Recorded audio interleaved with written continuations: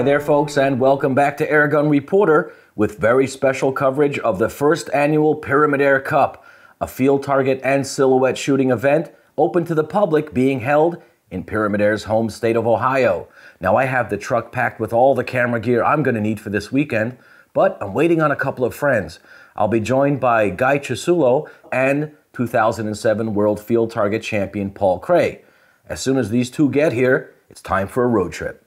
What's up, Paul Cray? You recording me, Paul Capello? Yes.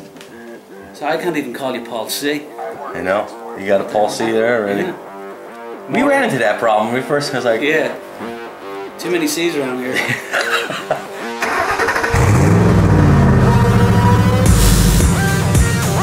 Okay, Google, navigate to Tusco Gun Club. Navigating to Tusco Rifle Club Inc.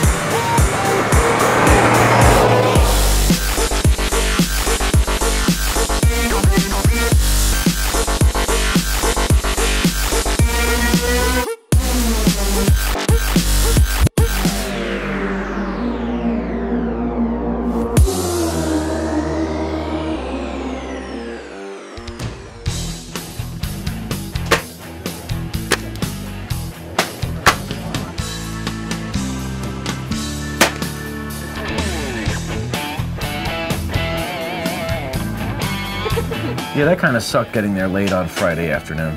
Man, traffic. What are you gonna do? That's right. We hit some traffic on I 90 and got there late and missed the payday challenge.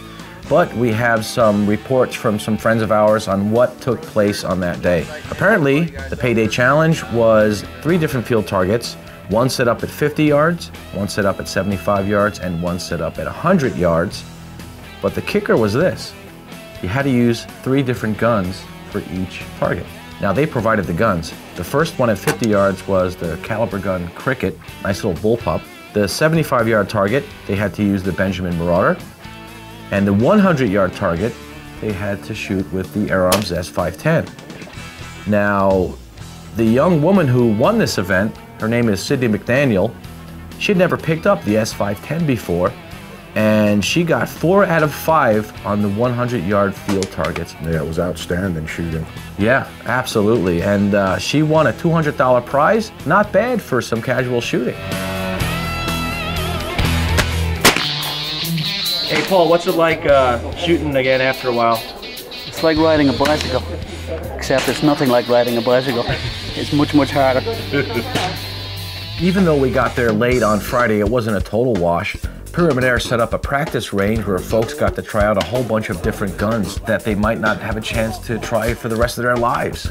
Yeah, they had uh, the Samyang Dragon Claw 50 caliber. They had an Air Force Condor. Uh, I believe they had a Marauder. Uh, a couple TX 200s, BSA R10, HW 97K. There was a lot of really nice stuff there. I got a chance to try out a couple of rifles that I've never shot before. Ted brought his Daystate Mark IV. What a sweet, sweet rifle that is. Yeah. And I even tried out an FX gun. I've never picked up one of these before. Folks were really nice about letting other people try their guns. Great camaraderie, great friends. I saw some old ones and met some new ones. Yeah, a lot of really great people there. I got to meet people that I've spoke to for years over the internet, but never had a face to put the name to. Yeah, that's just awesome. It was a great time that first day.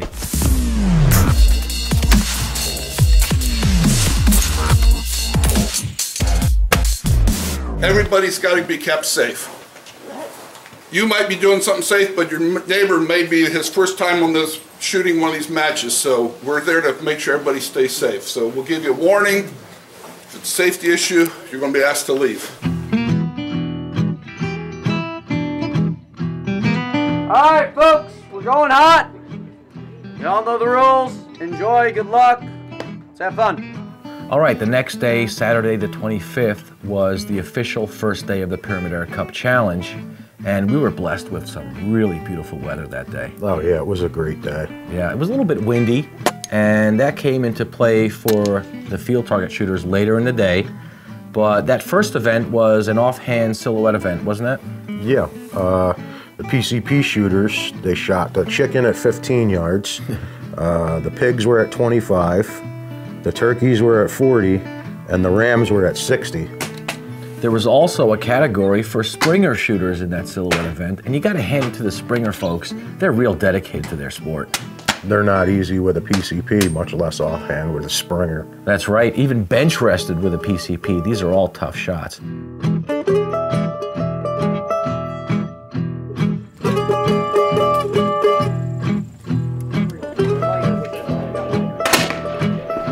Going home. Paul Cray, the 2007 World Field Target Champion, came with us, of course, and he got a chance to shoot in the Field Target event, and he wasn't even shooting his own rifle. His friend Greg Sauvé was there, and he had brought two Steyr air guns. Now, Paul's known for using the Steyr in the Nationals and the World Field Target events. And what Paul did was swap all the parts from his Steyr, put it on his friend's Steyr, and he competed in that first day's field target event and he got a 50 out of 52 possible points in that event. Amazing. And Paul hasn't picked up an air gun for about a year and a half. That was impressive. He had a big smile on his face and he was in the zone all day long, very concentrated, very focused. He's a machine.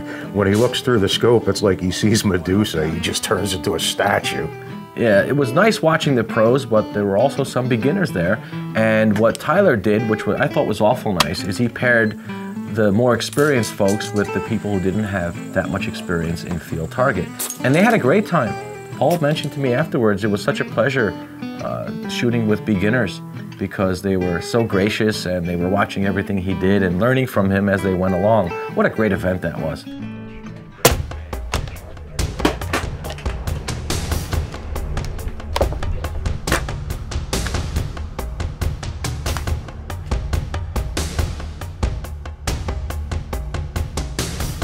The last day of the event is where things really started to heat up.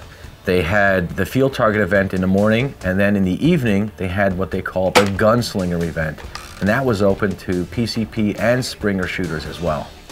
Right. That that was that was a high tension match. It really was. It was uh, you got paired off with a partner, and there were 16 silhouette targets, and it was whoever could finish first won. That's right. Ted mentioned to me the day before that he has been to some of these speed events before, and although you're allowed to use a magazine, you have to load it as soon as they call time. Meanwhile, when you're just about done loading your magazine, the guys who are shooting with the single shot rifles are already five, six shots ahead of you and knocking their targets down. He said he's never seen anyone who's used a magazine fed rifle ever win that event. And he was right. It wound up at the end of that event, Ted was shooting an FX rifle, I believe. Yes, a Royale. FX Royale, and Paul Cray was shooting his borrowed Steyr. I believe Paul was down to his last five silhouette targets that were set up about 15 yards away. I looked over at Ted, and he was having trouble with his FX. He couldn't get it to fire. He kind of threw up his hands, and there was a collective ah from the people watching, and he kind of threw up his hands. Paul was down to his last three at that point, I looked over at Ted and he went, wait, maybe I'm still in. What happened was he was cocking the rifle and his thumb accidentally hit the safety. It's a hunter style safety on there. And that was it. There was nothing wrong with the gun. So he put it back on fire and he beat Paul by like three seconds. Mm-hmm. Paul was just about to finish up his row and Ted came in, pop, pop, pop, pop, pop, I'm done. It was intense. It was incredible. It was really amazing. Congratulations to Ted. That was some fantastic shooting. Congratulations to everyone who shot there. It was just a great time. Thank you all so much for coming. I hope you enjoyed yourselves, and well, we'll definitely be doing this again next year, uh, and we'll see, well, hopefully all of you next year as well. Uh, but let's get to some awards and uh, recognize the folks out here who uh, did the very best. Um, so our overall grand champion, and uh, it was funny because he was asking me the whole time how it was possible a spring gun shooter could ever win this title um, against some PCP shooters. Um, winner of $1,000 and our grand champion, Ray Apelles. You guys did a great job of putting this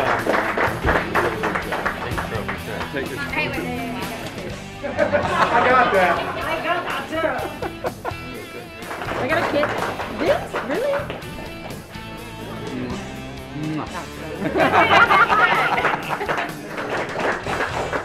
I'm not giving him a kiss though. I will.